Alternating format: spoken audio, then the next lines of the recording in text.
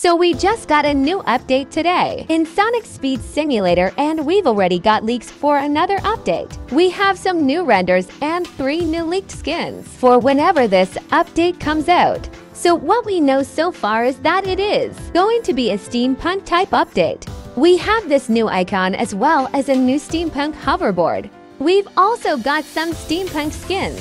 We have steampunk Sonic, steampunk Shadow, steampunk Knuckles, and then another teaser with Sonic and Shadow. Tell me what you guys think of all this. In the comments, I'd like to hear what you guys think about this. Be sure to like and subscribe for more leaks. Thanks for watching. Goodbye.